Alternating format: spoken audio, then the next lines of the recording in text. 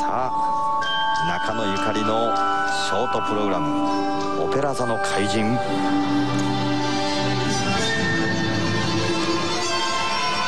フランスに来てからは凱旋門そしてオペラ座も見学したといいます。フランスのファンの前でトリプルルッツからダブルトーループ非常に良かったと思います。いい滑り出しです。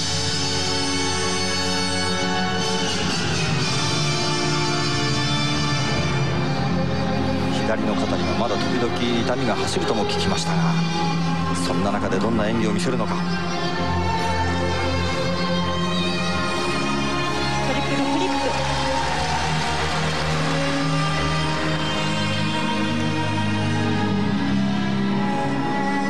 選手の見どころの一つ。ドーナツスピンをここで早くも出してきました中野。やはり回転も速いですね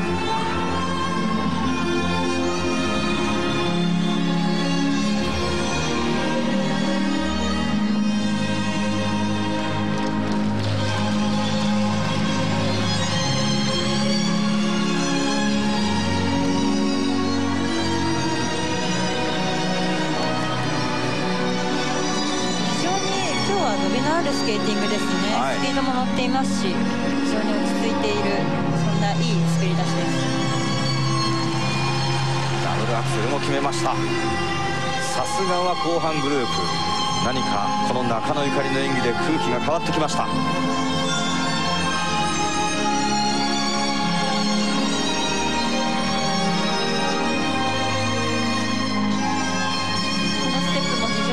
丁寧に滑っていますベルシー体育館のリンクが広いだけに小さく見えないように大きな演技をしたいと話していました中野です。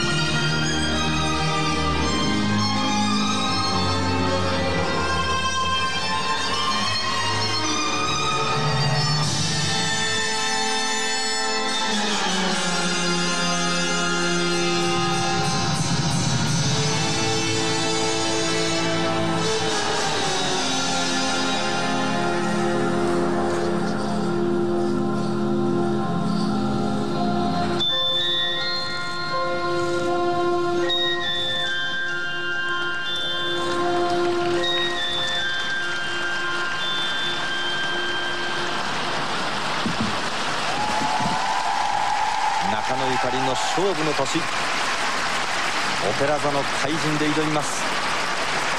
さあジャッジたちはどんな評価を下すんでしょうか。